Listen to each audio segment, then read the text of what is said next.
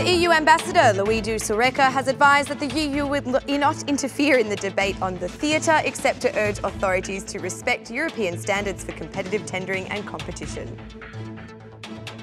The struggle for the municipality of Devol continues as a large number of police forces surround the building and Eduard Duro and Bledion Nalbati battle it out for the mayoral throne. A touristic ship has been completely destroyed by a fire burning near the Karaburun shores, endangering the lives of the five crew members on board. Luckily, no guests were on board at the time. It's six o'clock on Monday, the 29th of July 2019. Good evening and thank you for tuning in into RTV Ora's English edition. My name is Alexandra, bringing you the only daily update of the local Albanian news translated into English. The European Union refuses to take a stance on whether or not the National Theatre requires demolition, and according to the European Union ambassador Luigi Soreca, the main concern is this in this scenario is the severe politicisation of the issue. The EU diplomat refused to comment on President Meta's request that, until the issue is heard by the Constitutional Court, no decision on the theatre building be made, though he did ask the government for transparency throughout the tender process.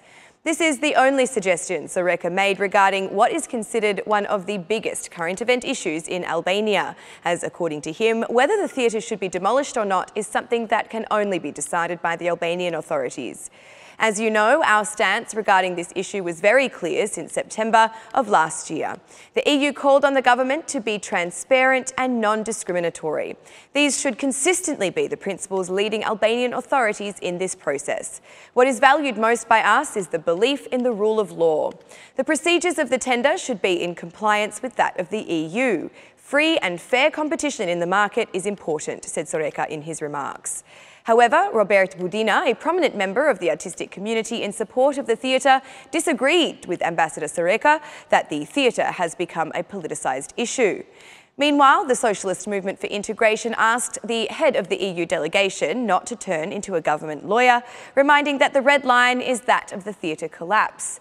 The theatre is a dividing line for those internationals who, unfortunately, have turned into government advocates. Today marks the final days, even for those lawyers who must now finally choose if they are for the establishment of the law or on the side of greed along with the government, said Vasili. Michel Placido is expected to arrive in Tirana on September 3 to support the artists and activists against the demolition of the National Theatre building.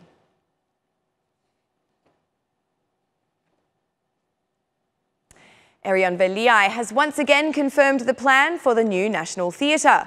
Attending a conference of Harvard students presenting architectural projects focused on adding spaces for children, Veliaj emphasised that on July 22, the tender process for the tender application process for allowing bids for the new modern theatre will be presented. He invited all interested parties to participate in the process.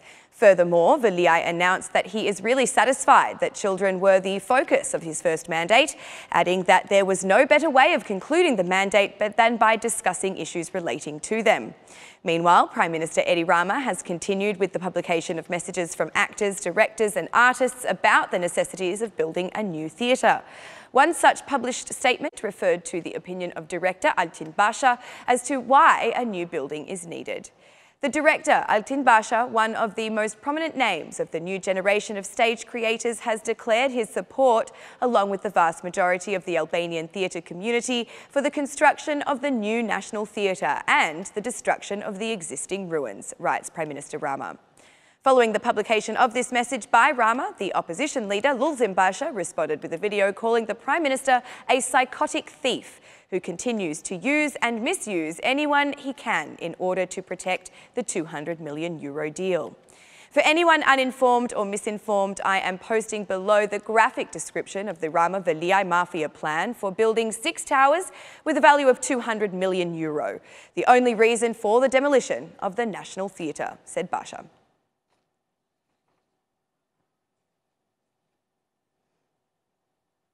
The Socialist mayor chosen from the June 30 elections entered his new office last Friday afternoon with a keen sense of fight.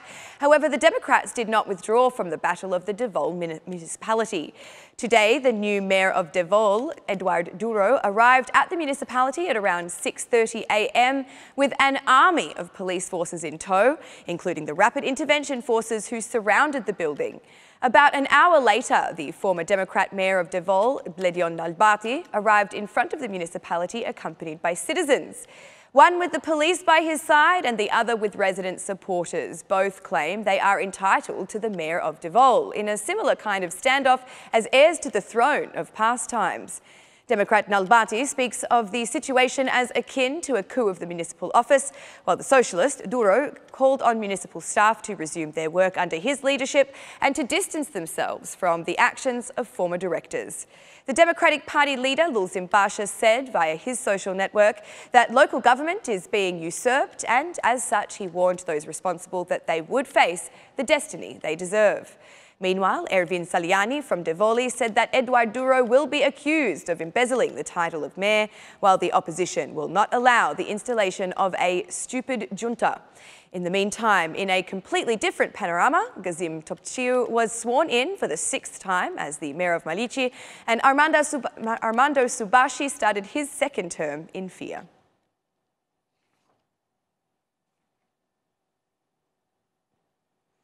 Business inspections will not only be conducted along the coast, but also in other cities throughout the country.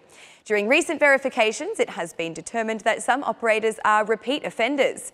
There was one business found in violation for the third time over the issuance of tax receipts. In such extenuating cases, the tax defiance ribbons will not be used to prevent entrance because this action has clearly failed. According to the administrative rules, those responsible for non-compliance of the rule for the third time in a violation go for penal prosecution, said Minister Denaj. Among other things, the Minister of Finance and Economy asked businesses to open bank accounts in accordance with changes made to the law. It obliges all taxpayers, whether a small business or a registered taxpayer for value-added tax, even NGOs, to have a business bank account, said Finance Minister Denaj. About two weeks ago, Prime Minister Edi Rama presented the new Director of Taxation, noting that recently there has been a marked decline in the issuance of tax receipts.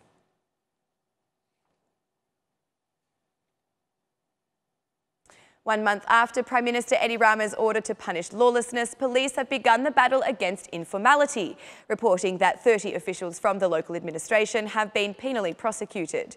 According to the Director of Investigations for Economic and Financial Crime, Lufti Minjosi, five officials have been arrested in flagrants, including the head of the Dermenas Administrative Unit in Fier and four inspectors from Shkodra Municipality. According to the Director for Economic Crime, investigations also looked into 801 different business entities, of whom 89 were found in violation of the law, and therefore all their representatives were penally prosecuted. The verifications were carried out across 467 resorts with beachfront operations, 162 seaside resorts, 83 hotels, 24 illegal buildings, and in four cases, even for occupied territories and fuel distribution points. According to the police, proceedings and arrests have been conducted for the penal offences of concealment of income, non-disclosure of income with the aim of tax evasion, illegal commercial activity, non-payment of taxes and illegal construction.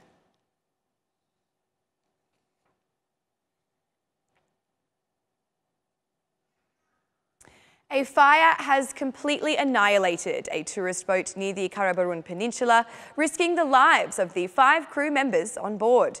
It is suspected that the flames started in the engine room before spreading rapidly.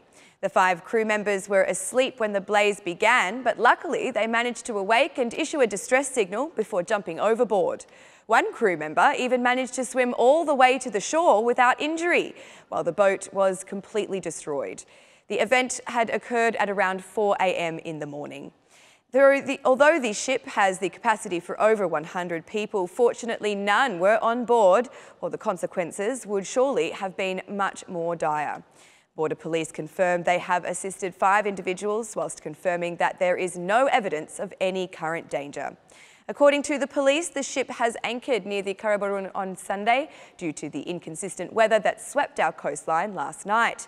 The ship, named Aquamarine, is well established in offering tours from Vlora to Karaburun and Sazan Island. Sources close to the captain say that just last May, it was recertified for the safety and security of transporting tourists.